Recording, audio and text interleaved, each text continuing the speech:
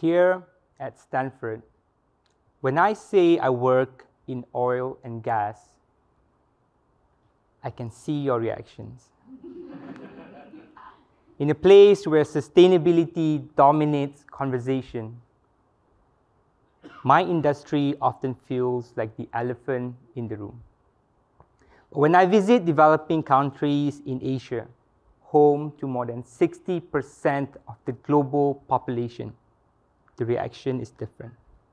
In Asia, energy isn't just about sustainability.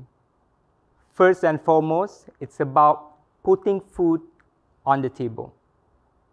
This stark contrast reflects a deeper issue because energy debate is often framed as a battle. Renewables versus fossil fuels, good versus bad, and clean versus dirty. But the reality is not so simple. The world is hungry for energy, and our planet is suffering. Just last month, we saw wildfires burn through LA, forcing families to leave their homes and filling the air with smoke. These disasters are clear signs that climate change is real. But with a growing population and rapid modernization around the world, global energy demand is projected to grow 50% between now and 2050. So, how are we going to deliver this demand? With energy that's reliable, affordable, and sustainable. This is the energy trilemma. For future leaders in this room, seeking to change lives, organizations, and the world, allow me to share my perspective to understand this trilemma. I grew up in Malaysia where energy transformed my nation. The discovery of oil and gas in the 1970s fueled rapid growth, turning a commodity based economy into a modern industrialized nation. In Kuala Lumpur, the Petronas Twin Towers serve as a symbol of our progress. As a kid, I saw them as the heart of an institution shaping the future of my nation.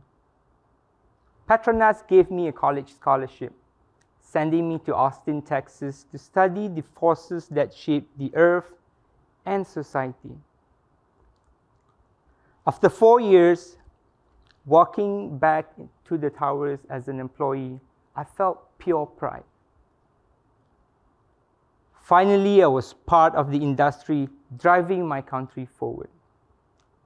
Reflecting on my early days working in the towers, I came to see oil and gas as more than a resource.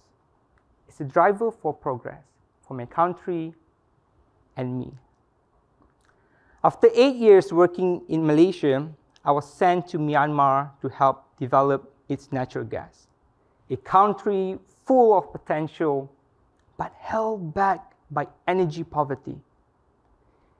In, Yangon, a city of 7 million people, I experienced power cuts almost every day. Businesses and the wealthy relied on dirty diesel generators. But for the poor, everything just stopped after sunset. Today, around 750 million people around the world are still living without proper access to electricity, trapped in the dark. My time in Myanmar shows that energy poverty doesn't just slow things down, it keeps people stuck. And we have a responsibility to deliver energy to these people. After Myanmar, I moved to Houston, Texas, the energy capital of the world. I led a joint venture drilling eight kilometers beneath the seabed in waters two kilometers deep in the Gulf of Mexico, or perhaps America. we unlocked 200 million barrels of resources, enough to power more than 10 million homes in a year. The Gulf today produces some of the lowest carbon oil in the world, with emissions 46% lower than the global average. And yes, everything is big in Texas.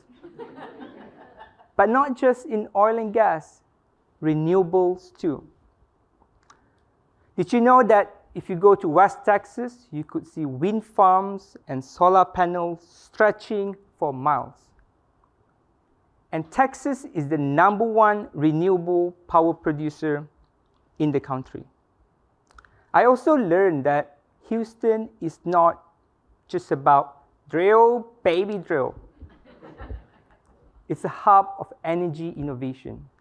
Innovations in oil and gas have unleashed the shale revolution, making the US the world's number one natural gas producer and a leader in energy independence.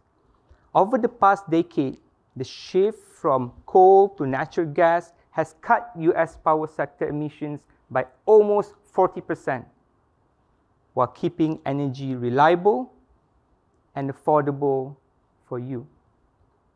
Houston showed me that the future of energy is not either renewables or fossil fuels, it's both. But as a geologist and earth scientist, I care deeply about our planet, like all of you. I want to protect it and be part of this energy transition. From Malaysia to Myanmar to Houston, I have seen what energy builds, what happens when it's missing, and how it's changing. Today's energy mix is almost like our food. Coal is the cheap fast food. It fills you up, but the least healthy. Oil and gas are the rice and grains what billions rely on today. And renewables are your fresh fruits and veggies, better for us and our planet. But the reality is the world can't afford to change the diet overnight.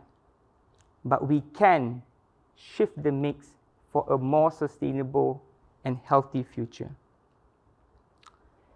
So the energy transition is one of the biggest challenges humanity faces.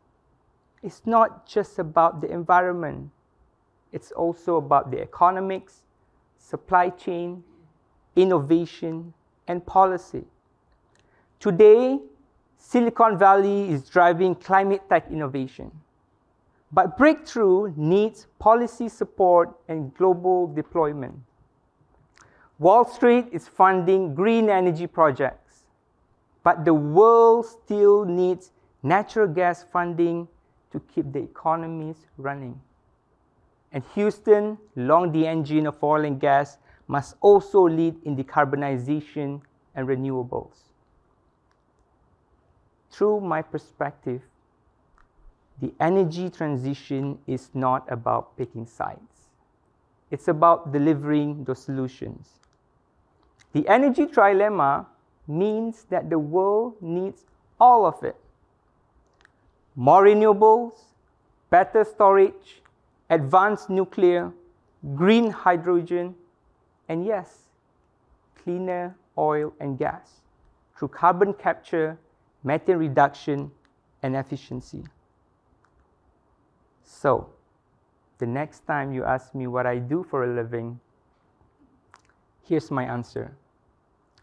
I work in oil and gas, leading the transition toward a net zero future. Because the world needs leaders within and beyond this room, working together to drive real change. Now, my question to you is what role will you play in shaping the future of energy?